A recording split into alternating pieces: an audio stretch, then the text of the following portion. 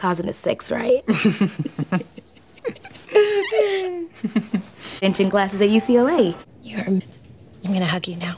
Okay. Okay.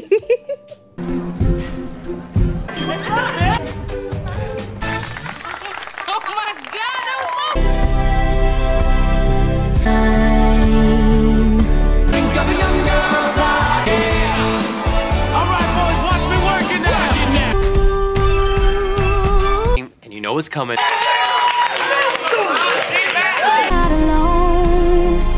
Listen to them. They all want to buy your album. So do I. Friend is. What a fight to get you back. This week's assignment so much? Hands down. Since we're going to be seeing your name up in lights for the rest of our lives, I thought. Eyes are everywhere.